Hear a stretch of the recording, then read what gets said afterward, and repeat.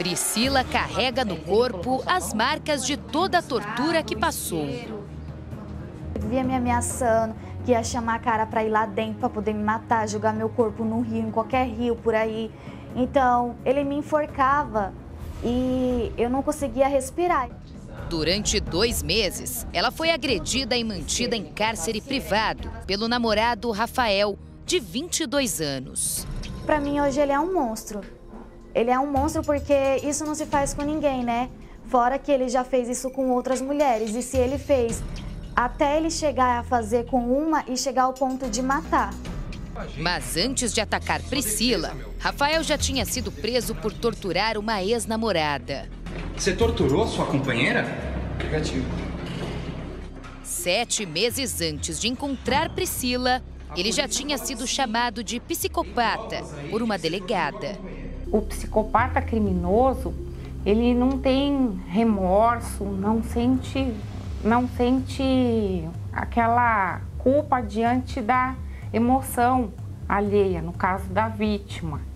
E ele aplica esses castigos por conta de desses desejos dele que não eram satisfeitos. Rafael é jovem, tem uma boa aparência, é músico e fala muito bem. Um rapaz acima de qualquer suspeita. Mas toda essa aparência esconde um lado sombrio e violento de Rafael. Ele falou assim: se você não fazer, você já sabe, vai ter uma punição. Ele sempre usava a palavra punição. Eu vou te punir. Qualquer coisa errada, ele falou para mim assim: a gente pode estar tá com 70 anos de idade, enquanto você continuar fazendo coisa errada, eu vou continuar te punindo. Era desse jeito, porque ele tinha, ele tinha um prazer em torturar. Rafael já tinha um passado de violência quando conheceu Priscila, mas ele conseguiu esconder tudo. E assim como fez com as outras vítimas, acabou conquistando a jovem de 19 anos. Mas eu tava cega, eu defendi ele de toda a minha família. Eu tava cega mesmo. Falando, não, nada a ver, ele é uma boa pessoa. Você está aí fazendo para me deixar contra ele. Em uma semana, ele já fez o pedido de namoro. Foi até a casa de Priscila. O pai dela achou tudo muito precipitado, mas não teve como impedir. No dia que ela saiu de casa, ela estava tão cega, tão obcecada, que simplesmente ela saiu e eu falei para minha esposa, eu vou chamar a polícia. Só que eu digo, eu vou chamar a polícia para quê? Ela tem 19 anos. Vão dizer, ela é de maior, ela tem escolha da vida dela. Então você não pode impedir uma pessoa de maior escolher a sua vida. Guimarães sentiu que Rafael escondia algo. Então eu quis conhecer melhor esse camarada. Então ele chegava aqui contando que foi segundo tenente do Exército, muita vantagem. Eu fui aluno da Marinha, eu fui militar, ex-militar graduado, então eu peguei o cara em muita mentira aqui.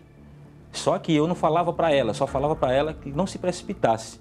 A Priscila estava tão certa do que queria que naquela tarde, aqui no quarto, ela arrumou as malas, pegou todos os pertences. Não quis ouvir mais ninguém. Estava certa de que com Rafael seria muito feliz. Ela se despediu da mãe com uma mensagem de texto. Mal deu tchau para o pai e para a irmã. Isso porque ela era muito feliz morando com a família. Saiu daqui com o coração apertado, mas tinha certeza de que seria mais feliz ao lado de Rafael. Quando Priscila passou por essa porta, deu o último adeus. A mãe ainda tentou alertar. Ela não deu ouvidos. Rafael a convenceu muito bem. Estava chegando para buscá-la. O que a jovem não sabia é que ao fechar essa porta, começaria um grande pesadelo.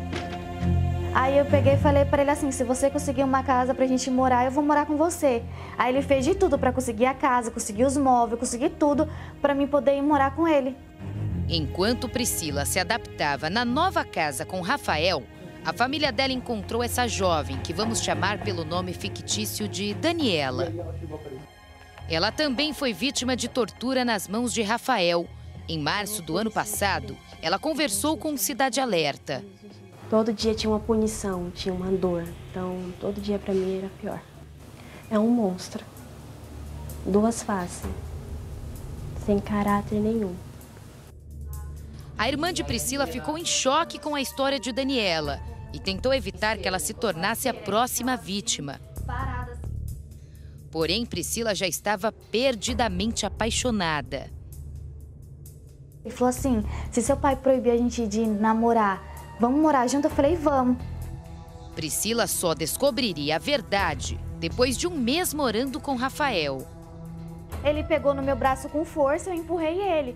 Aí nisso ele ficou revoltado, aí quando a gente foi para fora, ele começou a me bater. Aí foi quando eu chamei ele de monstro, ele não gostou, ficou revoltado, já começou a me bater. A partir daí foi Priscila quem sofreu calada durante dois meses. Me ameaçava não só me ameaçava, mas ameaçava matar minha família, matar minha irmã. Ele falava que ia atacar fogo na casa da minha irmã com os meus dois sobrinhos. Então eu queria proteger a minha família, independente de qualquer coisa. Quando Rafael acendia a luz ou fazia algum barulho, Priscila entrava em pânico. Ela já sabia que seria punida por algo que ele não havia gostado. As torturas aconteciam de diversas formas para mostrar o absurdo que ele fazia com essa jovem, nós viemos aqui no quarto. Para se ter uma ideia, um dos ferimentos mais graves que a Priscila carrega no corpo está na perna. De acordo com ela, naquela tarde, ele saiu de casa, iria para a casa da mãe dele, mas diz que quando retornasse, queria ver a louça lavada, a comida pronta, a casa impecável e Priscila arrumada. Com muito medo, ela correu para fazer tudo, mas não deu tempo de se arrumar. Quando Rafael chegou em casa, a encontrou com a mesma roupa. Ficou muito nervoso. Ela explicou que não deu tempo de se trocar. Mesmo assim, ele disse que ela seria punida. Encheu um potinho com água quente. E foi dessa forma que ele a feriu. Essa não foi a única tortura, várias aconteceram. Curioso? Baixe o Play Plus em playplus.com, na Google Play ou App Store.